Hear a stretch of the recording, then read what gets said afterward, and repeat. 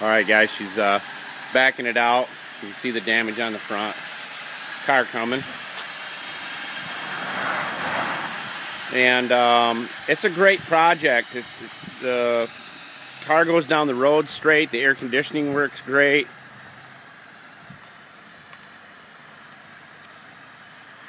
It has a, it may even be low on transmission fluid, who knows. But it has a transmission fault, but as you can see,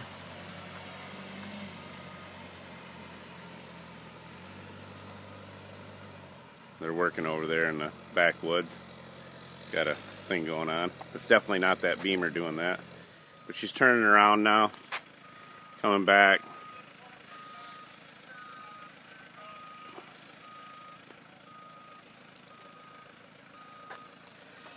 I highly suggest that you come here, take a look at it if you're going to spend this kind of money for a great project.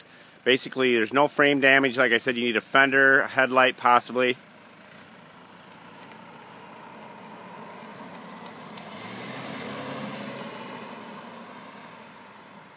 The tires are brand new. But just come here and take a look at it. We're going to have some great project cars that are high end, that need very little work and attention. Um, as you know, um, seeing the car in person, I think it's well worth it to you to make the trip and take a look at it. Um, there's no guarantee on it, of course, because it is a project car, but all in all, you know what these cars go for new, so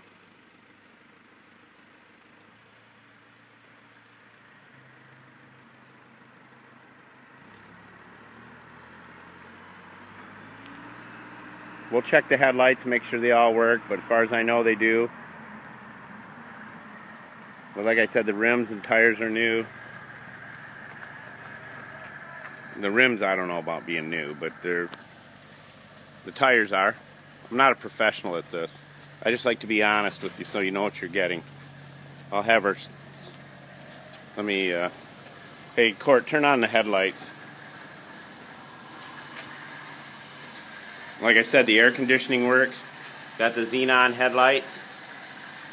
Not sure about the fog lights. I don't know if she even knows how to turn them on. Here's the engine. It's quiet.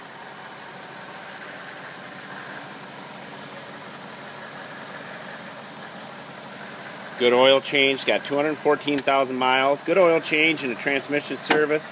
Could be all you need to do to it. I'll give you whatever the computer says that I can find with it. But like I said, it's best if you just come here and take a look at it. It's a project car, and I think you'll have a beautiful car here if you can get a. Definitely need a rear rear bumper cover, a front bumper cover is the way it looks there. The headlight looks to be working, even though there's a slight crack right there. All right, Court, you can shut it off now.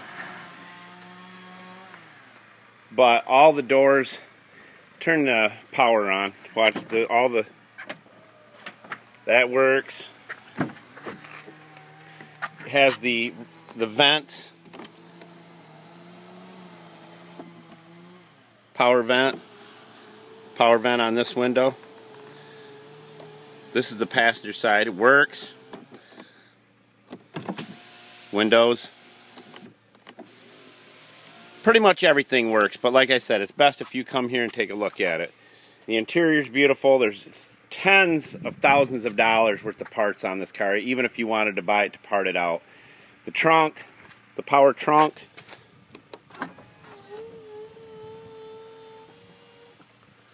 trunk down.